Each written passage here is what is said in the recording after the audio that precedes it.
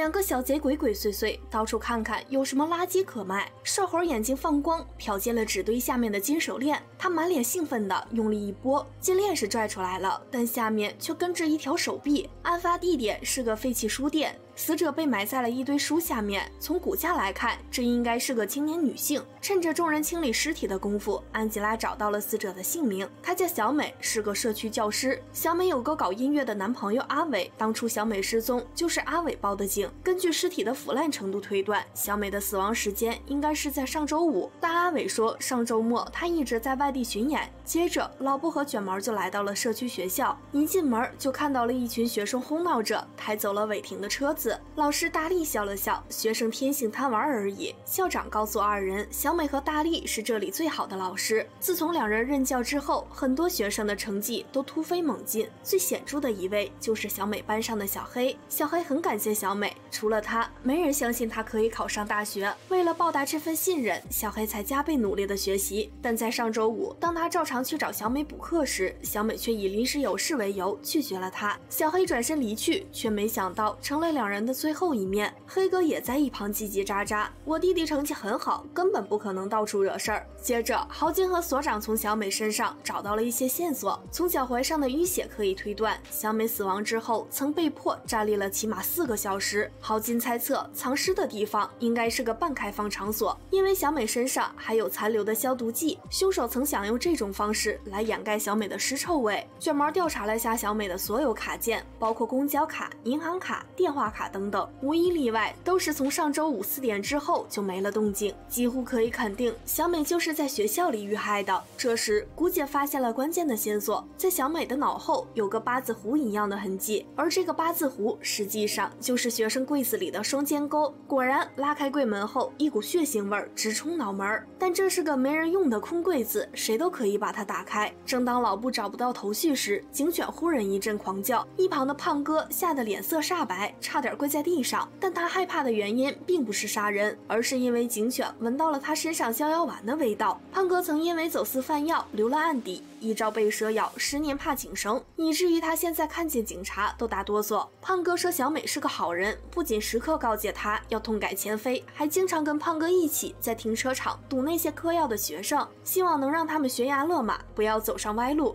听胖哥这么说，小美是真的一心扑在了学生身上，连她电脑里的东西也几乎都是跟学生相关的。但工作事业两难全，长此以往，男朋友阿伟势必就会被冷落，这也就难怪安吉拉会发现他的撩妹账号。对此，阿伟一脸生无可恋。其实他上周末的巡演被取消了，而之前长期独守空房，他心痒难耐，就开始沾花惹草，结果终于被小美发现，两人就大吵了一架。难道之后你就失手杀了小美？阿伟连连。摆手，自己只是心情郁闷，又跑去撩妹去了。说着，还拿出了女生的手机号，结果一打过去，空号的提示一时让气氛相当尴尬。阿伟手足无措，怎么解释都是越描越黑。就在这时，姑姐在小美的手指上发现了一道划痕，虽然已经愈合的差不多了，还是一眼就能看出来这是被刀捅伤的。然而查了查她的医疗记录，小美却谎称自己是被玻璃划到了，而她就诊的地方就在小黑兄弟俩的那个社区。她为什么要？说谎，再次坐到审讯室里，黑哥有苦难言。事实其实跟众人的推测刚好相反，黑哥并没有割伤他，因为当时刀子正握在小美自己手里。原来小黑和黑哥从小就相依为命，为了供小黑读书，黑哥恨不得一天打三份工。小黑不忍心看哥哥这么辛苦，所以就偷偷旷课兼职。而这事儿被小美发现了，她以为小黑是被强迫辍学打工，所以就拿起了刀子，她割伤自己，威胁黑哥，如果不让小黑去上学。他就报警说黑哥蓄意伤人，但之后误会解开，小美也就选择了隐瞒此事。正是从那个时候，小黑才开始用功读书。那这么说的话，案发当天你在哪里？黑哥支支吾吾，不想透露行踪，因为那天他其实正忙着偷面包。黑哥已经好几天没发工资了，而弟弟隔天就要考试，所以才铤而走险偷了点吃的。但黑哥已经留了两次案底，再多一次，小黑就只能被送进福利机构。听完这番话，卷毛心里五味杂陈。但既然黑哥没有作案时间，凶手到底是谁呢？就在这时，古井和实习生在小美的膝盖和后脊椎上发现了一些钝伤，这是因为一整天都被关在柜子里，小美的尸体开始僵硬，难以搬运。但如果要转移尸体，只要打断脊椎就可以塞进车子后备箱。凶手为什么要连她的膝盖一起砸烂？看着屏幕上模拟出来的姿势，小美似乎被摆成了一个坐姿。一个瘆人的推测开始在众人心中浮现：或许转移尸体的时之后，小美是被放在了副驾驶上，而这么做的唯一可能就是这辆车子没有后备箱，比如之前被学生们抬走的那辆小车，而它的主人就是小美的同事大力。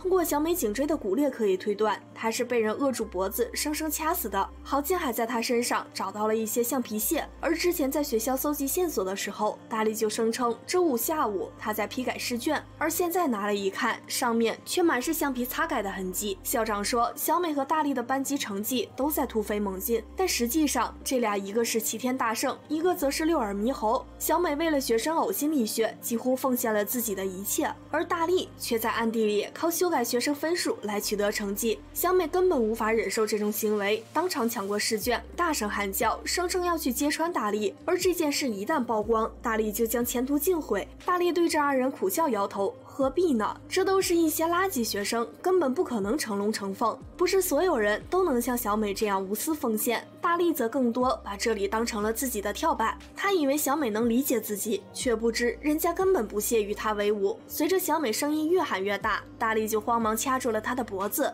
在意外留下橡皮屑的同时，最终也就酿成了惨剧。以上就是本期全部剧情，请持续关注我，解锁更多悬案。